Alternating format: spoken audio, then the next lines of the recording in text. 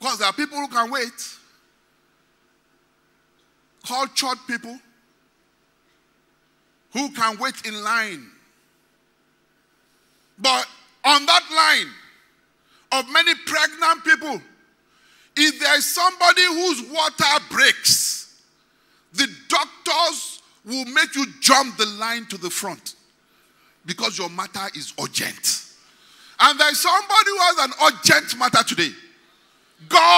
Here for you. Amen.